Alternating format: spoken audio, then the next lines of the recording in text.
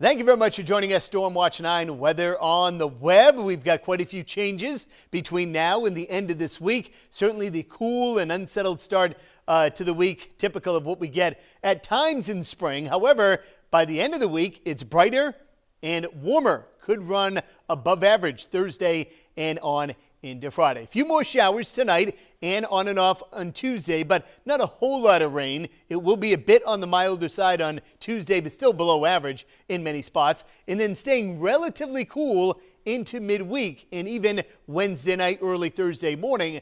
But again, by the end of the week, later Thursday into Friday, those temperatures begin to climb. Overnight tonight, we coast back into the 40s. Scattered showers far north, drizzle giving way to partial clearing in central and southern parts of the state.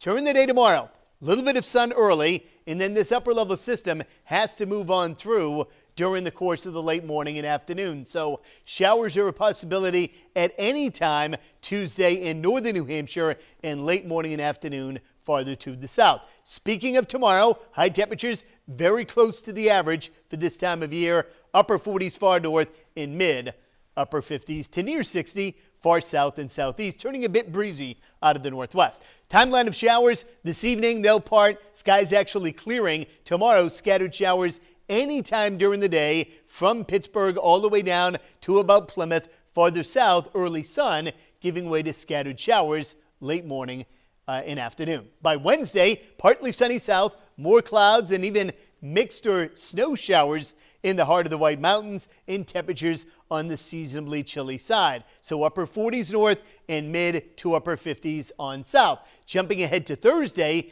a little bit milder and less wind, cooler at the coast, lower 60s for many with a blend of sun and clouds. Then milder on Friday, especially well away from the coast. Could be one of those days at the end of the week where it's only 55 at the coast and 75 in the upper valley and the Monadnock region.